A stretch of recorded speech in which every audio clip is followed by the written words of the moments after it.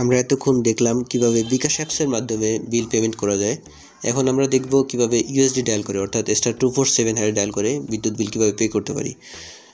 যাদের স্মার্টফোন নেই কিংবা অ্যাপস ব্যবহার করতে পারতেছে না কিংবা মোবাইলে এমবি নেই, তখন আমরা কি করতে পারি? ইউএসডির সাহায্যে আমরা বিলটা পেমেন্ট করতে পারি। এখন ইউএসডি আর বিকাশ অ্যাপসে একই রকম ব্যাট একই রকম, কোনো সমস্যা নেই, কোনো কম বেশি হবে না। সো আমরা চলে যাব বিকাশ মেনুতে star two four seven hash এরপরে চলে যাব নাম্বার সিক্স অর্থাৎ পে বিল অপশনে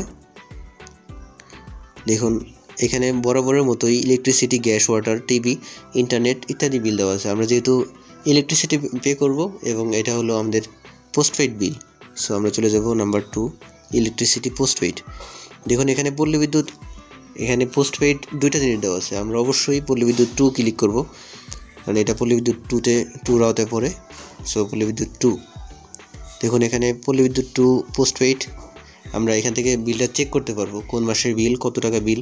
এটা চেক করতে হলে ওয়ান ক্লিক করব। যদি আমরা পেমেন্ট করতে চাই, তাহলে দিব নাম্বার টু মেক পেমেন্ট যেহেতু পেমেন্ট করতেছি নাম্বার টু দিলাম। এরপরে মেক পেমেন্টের জন্য আপনি আপনার যে এস এম এস হিসাব নাম্বারটা আছে, সেটা আপনি এখানে সেভ করে রাখতে পারবেন অথবা আপনি পেমেন্ট করার জন্য নাম্বার ওয়ান ক্লিক করে পেমেন্ট করতে পারেন। So number one S M S account নাম্বারটা এখানে ব্যবহার করব। ওই তেরো সংখ্যার ওই নাম্বারটা।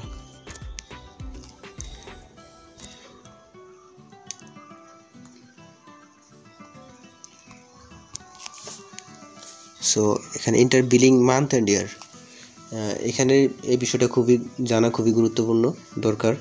অনেকে এই বিষয়টাই পারতেছে না এখানে। এখানে দেওয়া আছে M M Y Y Y Y অর্থাৎ এম এম দ্বারা বুঝেছে মাস। আমরা যে মাসের বিল পেমেন্ট করব, এখানে ওই মাসটা ব্যবহার করতে হবে দুই সংখ্যায়।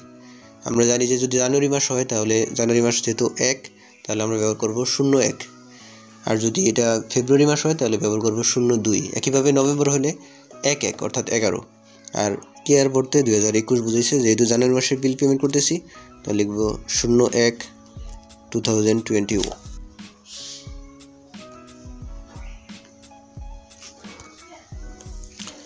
এখানে ইন্টার অ্যামাউন্ট বিলে যে টাকা থাকবে, টাকাটা এখানে অ্যামাউন্টটা লিখতে হবে।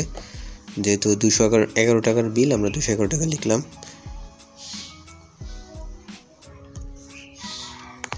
ইন্টার অ্যামাউন্ট দেওয়ার পরে আমরা সব কিছু এখানে চেক করে নিব।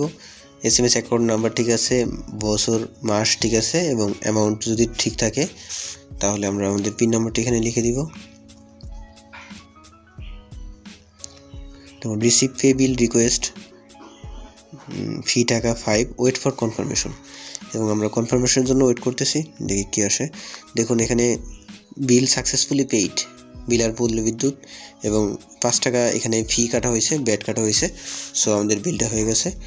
যে আমরা এখান থেকে কনফার্মেশনের জন্য ট্রানজ্যাকশন আইডিটি লিখে রাখতে পারি, যাতে পরবর্তীতে কোনো সমস্যা না হয়। Eight eighty six seventy J zero U six so বন্ধুরা, যদি এই ভিডিওটি থেকে আপনারা কোনো উপকার পেয়ে থাকেন, তাহলে অবশ্যই চ্যানেলে সাবস্ক্রাইব করে রাখুন। তাতে পরবর্তী ভিডিওতে আমরা আরও নতুন নতুন কিছু নিয়ে আসতে পারি। ধন্যবাদ সবাইকে।